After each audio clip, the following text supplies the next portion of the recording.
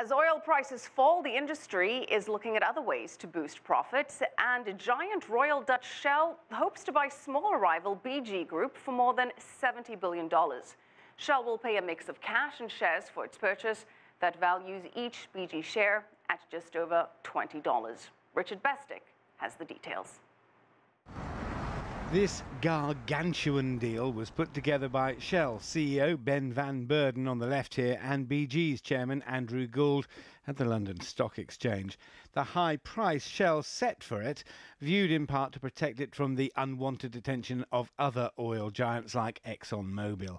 With vast financial reserves and falling oil prices, the industry is looking for alternative ways to boost value.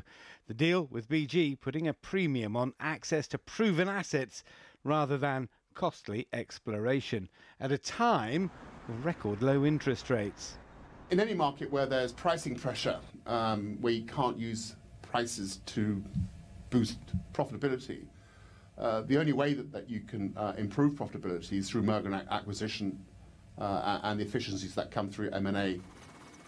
Shell said the deal would boost its oil and gas reserves by 25% and at the same time enhance a complex infrastructure of tankers, terminals and pipelines.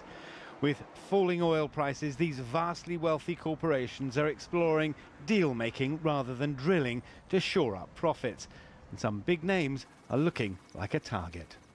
The financial sharks of London regard the British energy giant BP, for example, as weakened after years of legal battles over the disaster in the Gulf of Mexico.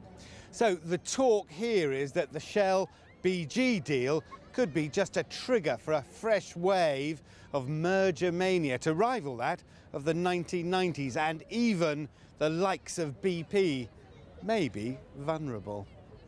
Richard Bestic, CCTV, at the Shell headquarters, London.